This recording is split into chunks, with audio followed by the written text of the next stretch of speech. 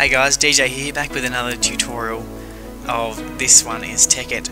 Um, and this one is an automated uh, macerating system.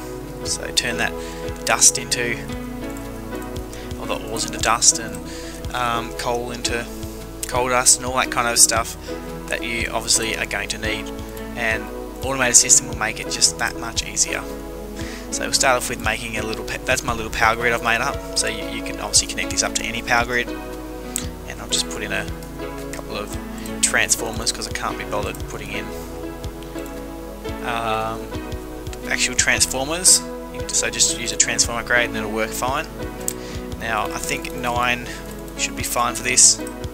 Uh, you have to work with overclockers because sometimes they can stop your system from working because they are too powerful. So for this one you'll need to put in a chest on the top with a wooden pipe connecting from the chest with a redstone engine powering the wooden pipe. Going down through a stone or anything pipe and that'll go through the top and that'll put into this item here. And from that you need a wooden pipe and chest to run it through there. So there you have it, a fully automated macerating system. Although you have to watch it sometimes because this one can feed this, oops, um, up the top once it gets fully powered it can feed it faster than this one can suck out so it's a good idea to just chuck another, either chuck in another chest or connect it up like I'm going to do here. Oops. Just run up through there.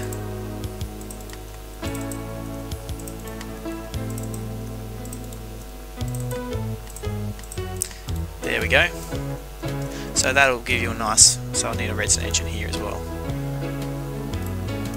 And you can always tidy this up so it's a bit neater and um, so it's a bit better looking.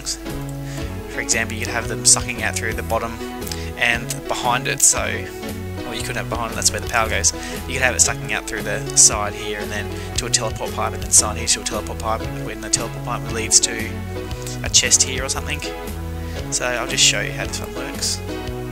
Just find a couple of ores. There's some iron ore there. Just chuck him up in the top. Now as you can see this will go straight through here and into the macerator which if I've got the overclockers right will be perfect. Try 10.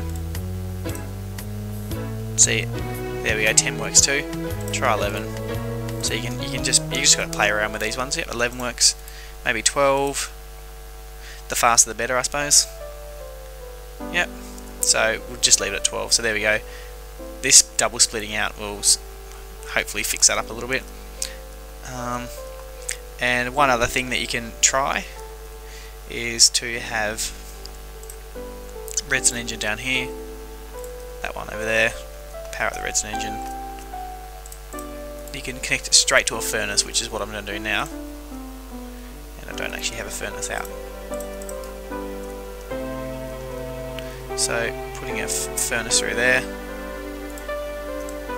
it's not a good idea to have it set up when it's not powered. Then you put from the furnace, you put a engine, power the engine when it's ready, put it onto there, and a chest, so that'll be the final chest for ores and ingots, etc. So we just need to power this one up.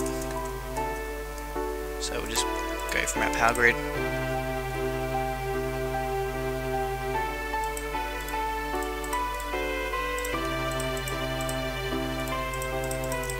I'm only doing this roughly, but you can always you can neaten it up. You could use power teleport pipes if you're using um, a, uh, energy link.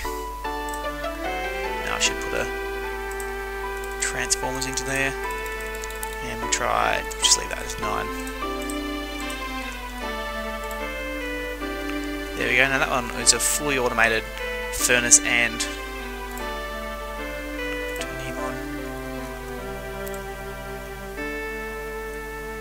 Oh, maybe I didn't turn on. There we go. Why do we turn the rain off? It's noon. Okay, so there you go, have a fully automated system, and as soon as I put this one back, there we go, fully automated um, ores through to dust, through to, well, except this one has to go into the top, my bad. Yeah, that'll fix it up there. There we go, and you can always power it up with a bit of um, uh, stone, uh, not stone, sorry, a, bit of golden pipes.